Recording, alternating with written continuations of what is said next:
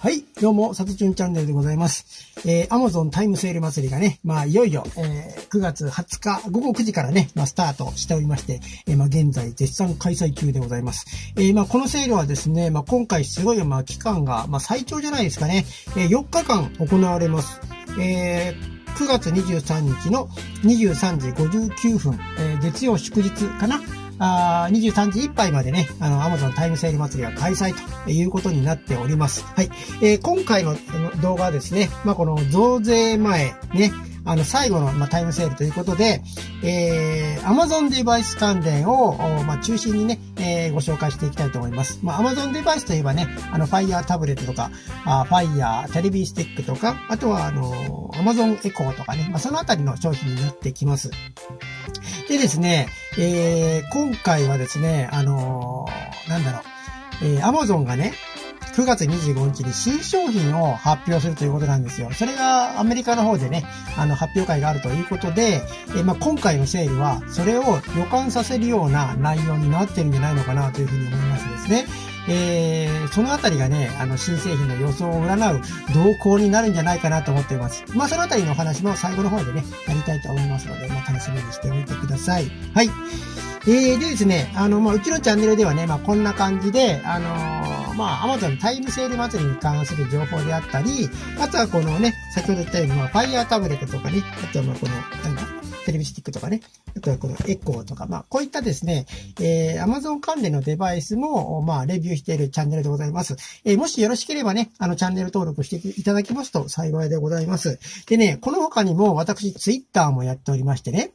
で、あの、こちらでは、まあ、今回のタイムセール祭りを中心に、えー、まあ、このお買い得なね、情報を、まあちょっとあの、先につぶやこうかなと思って。動画ではね、やっぱりどうしても時間がかかるんで、まあ細かい部分の対応ができませんけれども、あツイッターの方では、あの、大物から小物までね、まああらゆる商品をまあバンバンバンバンつぶやいておりますので、あの、興味があればね、あの、こちらもフォローしていただけますと幸いです。はい。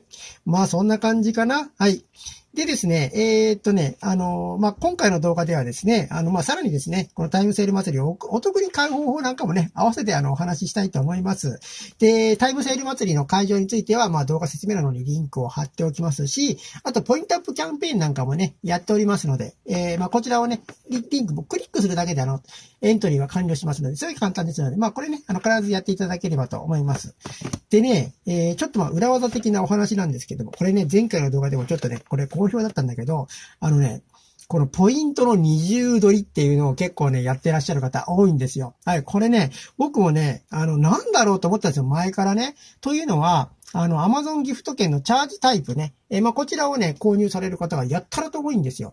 んでも、ま現金で買おうとカードで買おうとさ、まあ、どっちでも同じじゃんと思っていたんだけれども、実はそうじゃなくて、あの、例えば Amazon の、その、チャージを、まあ、2万円分買うとしますよね。Amazon チャージ2万円。そして Amazon の商品を2万円買うとしますよね。そうするとですね、この、二つで、ポイントがね、二重取りできるんですよ。こっちのポイント、あの、うん、チャージのポイントと、あと買った時のポイントで、2倍にね、あの、買うことができる。で、なおかつ、今回、ポイントアップキャンペーンにエントリーすれば、またさらにさ、ポイントが 増えるわけなんですよ。ね、だからね、このタイミングで皆さん一斉にね、あの、ギフト券のチャージポイント、チャージされてるのかなというふうにまあ思いました。はい。まあこれは参考までにね、あの別にこれ強制してるわけじゃないですから、あの、ああ、なるほどと思った方だけでね、あの、いいかなというふうに思います。はい。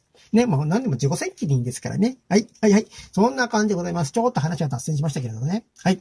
じゃあね、今回、えー、Amazon タイムセールに登場した、えー、Amazon デバイス関連の商品っていうのはね、何があるのかというところをですね、ちょっとこれから、えー、ご紹介していきましょうかね。はい。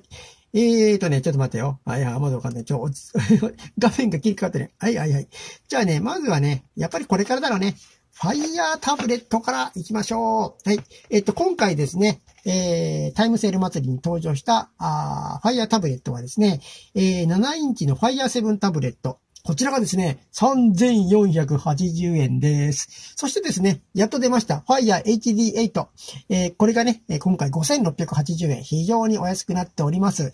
えー、なぜね、ついに登場したのかと言いますと、えこれまでね、Fire タブレットシリーズ8インチだけ Alexa が搭載されていなかったんですが、今回の大型アップデートに伴って、この8インチも Alexa が搭載されております。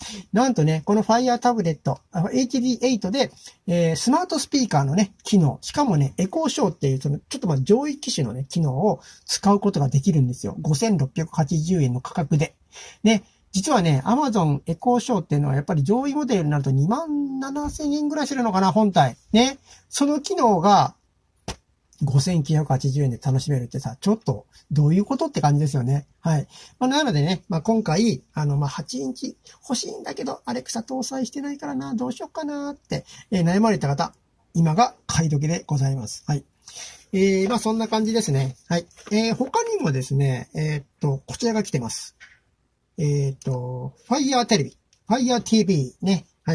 え、これですね。はい、あの、テレビにぶっ刺して使うヤーツです。え、これは何をするかというとね、あの、大画面で映像コンテンツを楽しむデバイスになっております。しかもこいつもね、いよいよ、ここに、この、ここのね、リモコンにマイクがついてるんですけども、これもアレクサが積んであるんですよ。不公平。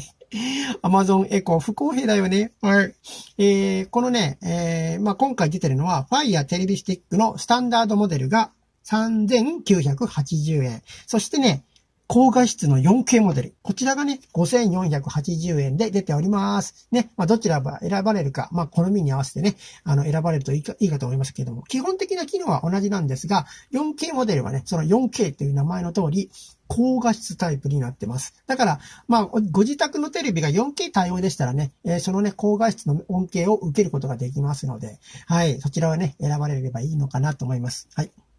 で、もうね、えー、これはね、今回はその、まあ、アレクサに対応してて、そのアレクサの機能がこのテレビデバイスでも使えるというところもありますが、あさらにですね、あの、Google 問題、ね、ちょっとね、Google さんと、ちょっと Amazon がね、ちょっと喧嘩してた時期があって、えー、YouTube アプリがね、使われなか、使えなくなった事件がありましたが、現在はですね、和解しまして、見事復活しております。これで YouTube を見ることもできますね。はい。他にもですね、DTV とか NHK ワールド、Amazon プライムビデオね。まあ多分まあ、今回買われる方は入ってると思うけども。あとは、GAO とか、はい、Unext、なんか Hulu とか、あ、ニコニコ？まあまあ、そんな感じの、まあ、とにかく動画コンテンツがね、テレビの大画面で見れますよというものになっておりますので、はい。ああ、これはいいなと思われた方ね、まあ今回検討されてみてはいかがでしょうか。めっちゃ安いしね。はい。えー、でね、あと実はですね、今回、タイムセール祭りには登場していないんですけれども、えー、このね、えー、Fire テレビにね、ニューモデルが出ました。Fire TV Cube と呼ばれる、あの、ハイエンドモデルが出ました。お値段、14,800円なんですよ。えー、今はね、あの予約受付中ということで、11月の5日発売だったかな。まあ、結構先ですけどもね。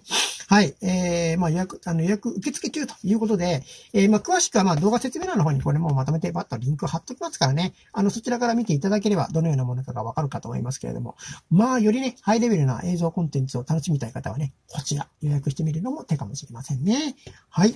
えそんな感じ感じでございます。だからね、まあ、この新製品がひょっとして、その Amazon の新製品発表会で発表されるデバイスかなと思ったら、これじゃないんですよね。えー、これは9月25日に発表されるから、あその前にね、発表されましたんで、これではないということです。はい。まだ他にもあるんだよ、ということでございます。はい。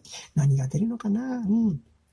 でですね、えっ、ー、と、他に、あとは、Kindle ね。Kindle ね。電子書籍 Kindle。はい。えー、これはね、まあ、電子書籍に特化した専用端末でございます。はい。あこのね、電子書籍を読む機能っていうのは、まあ、スマートフォンでも、あと Fire タブレットでもできるんですよ。できるんだけども、こちらはもうね、書籍を読むために特化したね、スペシャル端末になっております。まあ、その分ね、電池持ちが良かったり、えっ、ー、と、起動時間が早かったり、軽かったり、電池持ちが良かったり、あと何だったっけ？あお、お風呂で読めるかな？あの、Kindle Paper White だったら、あの、お風呂、防水仕様になってますから、あの、お風呂でも読むことができます。はい。まあ、そんな感じがな、特徴なんですけれども。はい。まあ、本をね、まあ、ちょっとあの、より、よりゴージャスに読みたい方はね、この Kindle も選ばれればいいかと思います。はい。今回は無印 Kindle が6980円。Kindle Paper White は9980円。それからですね、あの、最上級モデルの Kindle Oasis っていうのがあるんですけども、まあ、今回タイムセールに出てるのは旧モデルですね。えこちらがですね、いくら？えー、26,980円で出ております。はい。ねまあ、興味のある方ね、チェックしていただければと思います。はい。まあ、この結果からね、Amazon の新型デバイス。何が出るのかっていうのはね、ちょっと僕もね、よくわかりません。はい。ただですね、実は今回、Fire HD10 が出てないんですよ。タイムセールに出てない。ひょっとしたら、このね、HD10 のなんかその後継モデル、次期モデルは、かなり大幅な進化をして登場するんじゃないのかなという、ちょっとここ期待してるんですよ。で、えー、発表後のタイムセールで HD10 が大安売りと。えいう流れになるんじゃないのかなというふうにちょっとだけ思いました。これ当たってたらすごくないですか？果たしてどうなるかな？サトチューンの勘が当たってるかどうか、ね、信じるか信じないかはあなた次第。ってな感じでね。はい。まあ、あの、今回はですね、えー、まあ、アマゾンタイムセール祭りに登場したあ Amazon デバイスね。はい。こういったのをまあご紹介してみましたけども、いかがだったでしょうか？まあ、こんな感じでね、うちのチャンネルでは今回のタイムセール祭りの情報、ね、YouTube と Twitter でバンバン流します。ね。なのでね、この YouTube チャンネルの登録、そして Twitter のフォローもぜひよろしくお願いいたします。えー、てなわけで、さとちゅんチャンネルでした。また次の動画でお会いしましょう。あ、それから今日の夜9時はライブをやろうかな。よかったら遊びに来てくださいね。